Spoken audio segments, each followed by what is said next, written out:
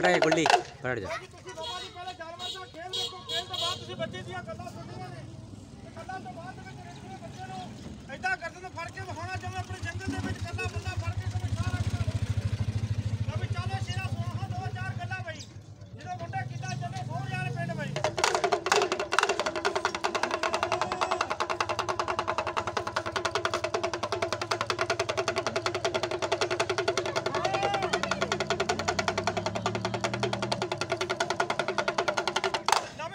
ਕਹਿੰਦੇ ਨੇ ਮੁੰਡਿਆ ਸਹੁਰੇ ਕਰ ਦਿਆ ਕਾਕਾ ਤੂੰ ਮੱਝਾਂ ਵੀ ਚਾਰ ਬਈ।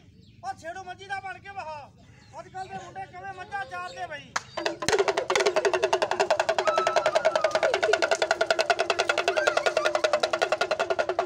ਜਦੋਂ ਤੇਰੇ ਸਹੁਰਿਆਂ ਨੇ ਘਰ ਜਾਣਾ ਉਹ ਮੁੰਡਿਆ ਤੇਰਾ ਸਾਈਕਲ ਹੀ ਚੱਲਿਆ ਤੂੰ ਸਾਈਕਲ ਭਜਾ ਕੇ ਵਹਾ।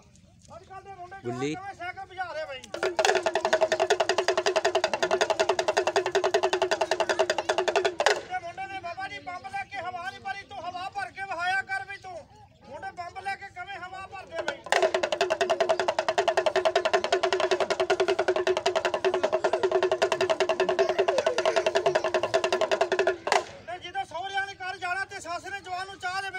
ਵਿੱਚ ਪਿਆ ਤੇ ਆਹ ਵੇਖੋ ਜੀ, ਜਵਾਨ ਪਹਿਲੇ ਆਕੜਿਆ ਪਿਆ।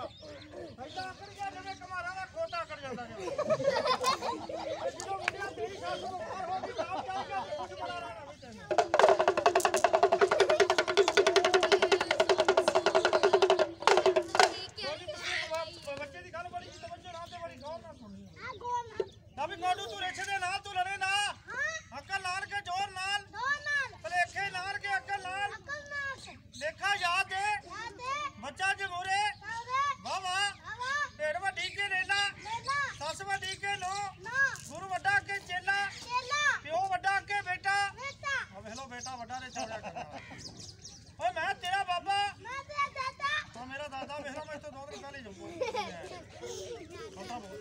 ਤੇਰੀ ਸ਼ਾਦੀ ਹੋ ਗਈ।